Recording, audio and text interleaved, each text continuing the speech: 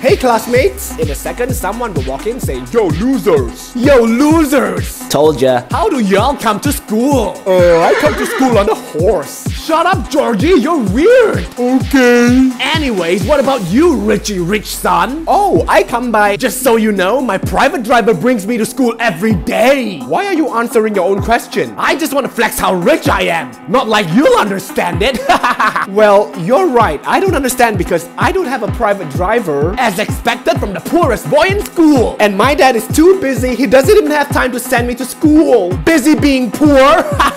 Luckily, I have a butler. He's the one who brings me everywhere on a helicopter. what? Yeah. Oh, my butler's helicopter is here to pick me up. Sir, let's go. You have a butler on a chopper? Bye, classmates. How rich are you?